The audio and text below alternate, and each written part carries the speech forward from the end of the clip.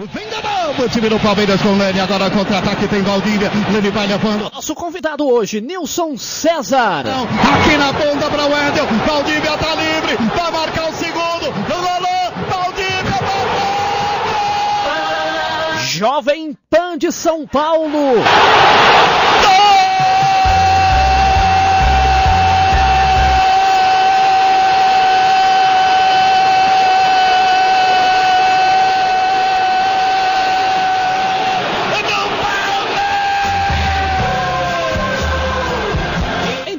lá, Nilson César, boa noite, seja bem-vindo aqui no programa Arremate Final.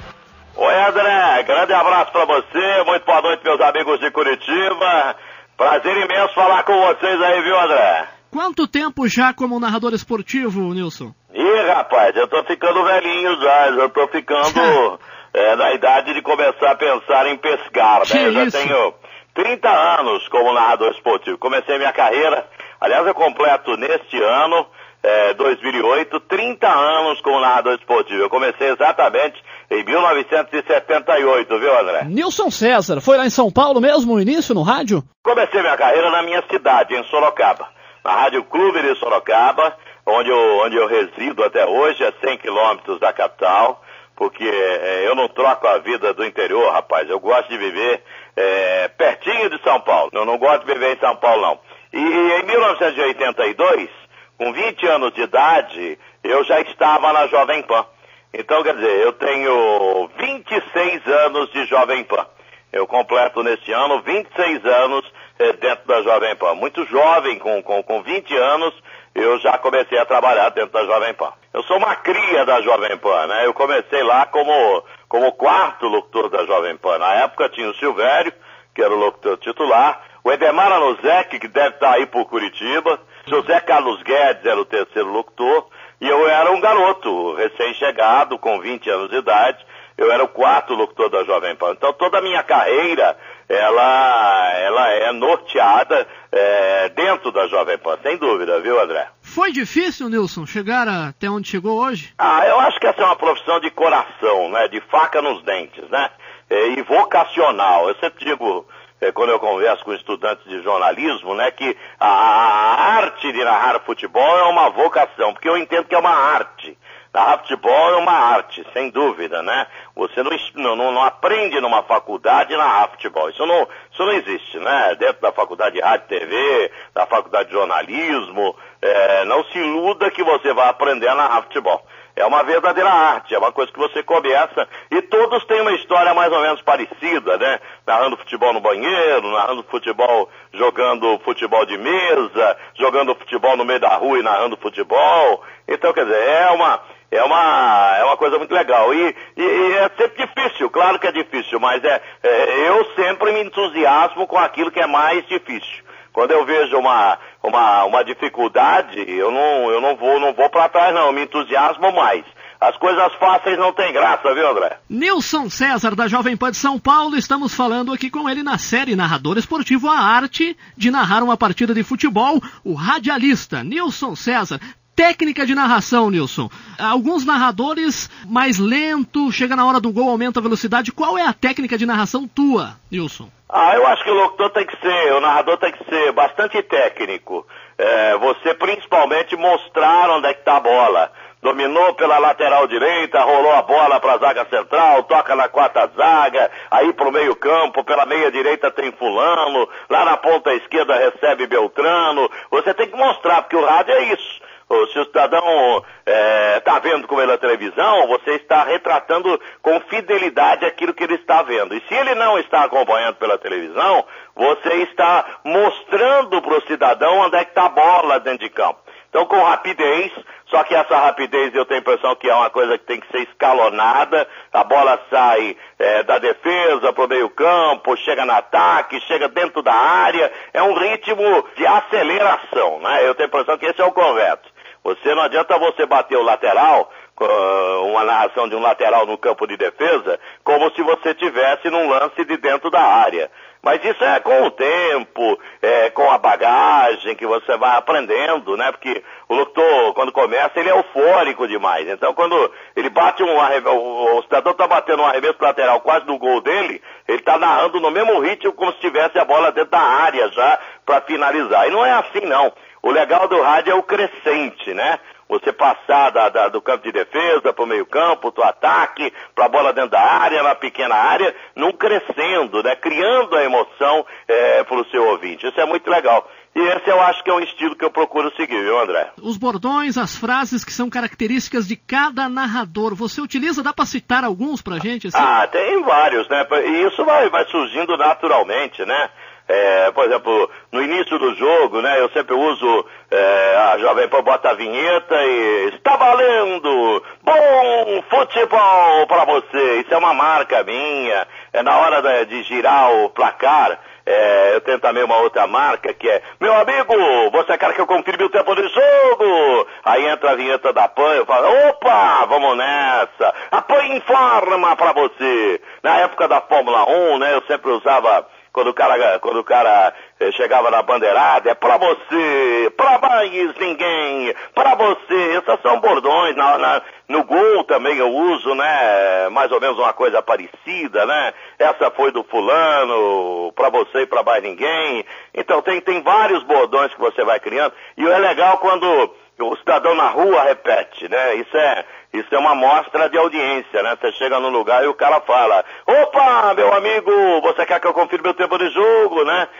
Dizem que se copia bastante também, como o velho Chacrinha dizia. Você copia alguma coisa também, Nilson? Claro, vai, óbvio que sim. Eu, eh, todo locutor no início de carreira, todo locutor, ele tem alguns espelhos profissionais. Então, eu cresci ouvindo nomes fantásticos do rádio. Desde a Rádio Tupi, eu ouvia muito Haroldo Fernandes, que eu achava um locutor brilhante. Depois Fiore Gilhote, nosso saudoso Fiore Gilhote. Osmar Santos, que eu sempre achei brilhante. José Silvério, um locutor que trabalhou comigo. O Silvério, a, a, trabalhei com ele 18 anos dentro da Jovem Pan. Também um narrador brilhante. E você precisa é, pegar um pouquinho de cada um desses locutores e você vai formando o seu próprio estilo. E isso é absolutamente normal. Por exemplo, eu tenho meu filho, Fausto César, que eu entendo que será um dos maiores narradores esportivos do Brasil. Ele tem 20 anos de idade, está um ano e meio na Rádio Capital em São Paulo. E claro, é evidente que ele tem um estilo parecido com o meu. É, não só uma questão genética, mas a convivência com Até o pai. Até por trabalhar junto, né? É lógico, trabalha junto, é, trabalha não, mora, vive junto, né? Dorme do lado, é, no quarto ao lado onde eu durmo, quer dizer, é, passou a vida inteira me ouvindo, né? Então é absolutamente normal o Fausto com 20 anos de idade ter um estilo de transmissão parecido com o meu. Mas é evidente que daqui a 4, 5, 6 anos, esse garoto vai ter um estilo todo próprio. Como foi o meu caso em início de carreira. Você pega um pouquinho de cada um e vai formando o seu próprio estilo. E a grande narração do Nilson César, dá para puxar na memória aí aquela que você gostaria de guardar, arquivar o momento como narrador esportivo, Nilson? Olha, tem um gol do Cicinho contra contra o Palmeiras, um jogo São Paulo e Palmeiras, sinceramente eu não me recordo é, o ano, mas não faz muito tempo não, é, que eu consegui transmitir é, num lance muito rápido, é, várias sequências, né, muito rápido, eu consegui, talvez esse gol que eu reputo como o gol mais perfeito que eu narrei. Mas o jogo que mais me marcou foi o jogo, é, foi o jogo Chile e Brasil nas eliminatórias da Copa do Mundo de 2002. E aí o Brasil perdeu de 3 a 0 no Chile. E eu explico por quê. Porque eu tinha ficado sete meses no ano de, de, de 2000. Esse jogo foi em 2000, exatamente. Esse jogo foi em 2000. Tem impressão que setembro, outubro de 2000. Eu tinha ficado sete meses literalmente fora do ar, porque eu tive um problema de saúde, uma depressão profunda. É, é, em, relação, em razão desse problema de saúde, eu fiquei fora do ar seis, sete meses, literalmente fora do ar.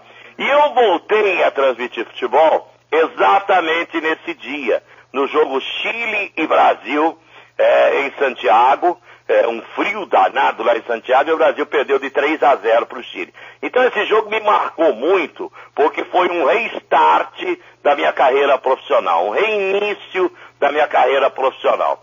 É, muita gente fala, ih, não volta mais na futebol, é, o problema dele foi sério, de saúde. Nada, eu voltei nesse jogo, eu tenho a impressão que voltei narrando muito melhor do que eu narrava antes do ano de 2000. Então, esse jogo é um jogo que me marcou por uma coisa muito pessoal, viu? Mas eu acho que sempre o grande jogo, viu, André e meus amigos eh, de Curitiba, o grande jogo é o jogo que você vai transmitir o seguinte, o próximo.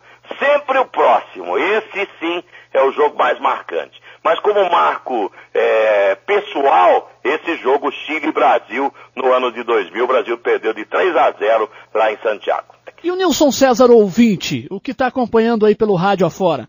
Ah, eu sou um cara que corujo todas as emissoras, viu? Eu gosto sim, eu fico sapeando as emissoras, porque aqui onde eu moro, em Sorocaba, a 100 quilômetros de São Paulo, eu consigo sintonizar as rádios aí do Paraná, do Rio de Janeiro, do Rio Grande do Sul. Então eu sou apaixonado por rádio. Eu, eu adoro ouvir o jornalismo dentro do rádio, programas de variedades dentro do rádio, é, desde aquela classe mais popular até a, aqueles programas mais elitizados, quer dizer, é, eu, eu sou um fã, um apaixonado. Eu acho que o rádio, viu André, é o maior veículo de comunicação do planeta. Por mais que evolua a televisão, os portais de internet, jornais, enfim, por mais que evoluam todas as revistas, por mais que evoluam todos os outros veículos de comunicação, eu acho que o rádio é imbatível, sabe? O rádio, o rádio é um veículo fascinante. É, não existe um, um, um veículo com imediatismo do rádio e com emoção do rádio. Quanto mais evoluir a tecnologia, melhor para o rádio, melhor será é, a rapidez do rádio, quer dizer, é, é imbatível, é um veículo imbatível. Eu, eu, ouço tudo no rádio, tudo, tudo. Eu gosto de ouvir, olha, até programa, é, como é que fala, de música sertaneja, apresentador de manhãzinha de música sertaneja, eu ouço de tudo, eu, eu sou apaixonado pelo rádio, eu sou um, um rádio mania, viu André? E, e as viagens, Wilson? O que, que tem de bom e de ruim nas viagens aí? Ah, eu fui um dos caras que talvez mais viajei no rádio brasileiro. E é explicável, né? Porque eu transmiti durante 14 anos, de 1986 até o ano de 2000, todas as corridas de Fórmula 1 na Jovem Pan. Imagina só, a minha, a minha casa era avião e aeroporto e hotel. De 86 a 2000, 14 anos consecutivos, eu estou há, há 26 na Jovem Pan, 14 anos consecutivos, passei viajando pelo mundo com futebol e com Fórmula 1. Essa aqui foi a minha Copa da Alemanha, foi a sexta Copa do Mundo que eu tive a oportunidade eh, de estar presente também. Nessa brincadeira aí eu conheci mais de 50 países transmitindo futebol e Fórmula 1 pela Jovem Pan. E hoje o rádio, nós temos menos viagens, né? Porque hoje muitas transmissões são feitas é, off-tube, como a gente chama, né? É, vendo o jogo pela televisão e transmitindo pela televisão. É, é um critério, evidentemente, evidentemente que, que muitas emissoras de rádio adotaram, a Jovem Pan também adotou esse critério, e não é sempre que a gente está viajando. Mas, sinceramente, eu não sinto muita falta de viagem, não. Eu gosto de ficar mais em casa, viu, André? É, Fórmula 1 e futebol, né? Pouco tempo em casa. Uma semana no Brasil, outra semana chega aqui, fora do Brasil, uma semana no Brasil, outra semana fora, é, intercalando futebol com Fórmula 1 durante 14 anos consecutivos, uma época fantástica da Fórmula 1 com, com três títulos do Ayrton, eu transmiti dois do Nelson Piquet três do Ayrton, num momento maravilhoso da Fórmula 1 pelo Brasil, pro Brasil e intercalava jogos é, do Campeonato Paulista, Campeonato Brasileiro, Libertadores, na, na Europa a Jovem Pan transmitia é, também os jogos de Copa Europeia de Clubes Campeões, então eu ficava entre uma corrida e outra para transmitir um futebol num outro país. Realmente foi uma época é, fantástica, foi uma grande escola, foi um presente que Deus me deu, essas viagens são muito importantes, mas eu não, hoje, sinceramente, eu não faço nenhuma questão de ficar viajando, não. Adoro ficar na minha casa, viu, André? E boa sorte nestas jornadas esportivas da vida, Nilson César. Rádio Banda B, rapaz. Vou sintonizar aqui em Sorocaba. Ah, se vou. E parabéns, porque muito legal você valorizar o narrador esportivo, porque é uma classe que merece toda a valorização. Narrar futebol não é fácil, não. Eu, narrar futebol no rádio talvez seja uma das artes mais difíceis. O Edemar Aruzek, por exemplo, eu acho um dos maiores narradores do país até hoje. Não tenho, não tenho nenhuma dúvida disso, porque narra futebol de verdade. Então, narrar futebol de verdade não é mole, não. É, o cara precisa ser bom mesmo, não é, não é para qualquer um narrar com, com precisão, com técnica, com, com, com seriedade, com credibilidade. E você está de parabéns, André, dando esse espaço aos narradores esportivos do Brasil. É, e no Brasil nós temos os maiores narradores esportivos do mundo. Você pode ter segurança disso, viu, André? Então, senhoras e senhores, Nilson César. Panari levantou, passou o vem Fábio pegando a bola, tocando de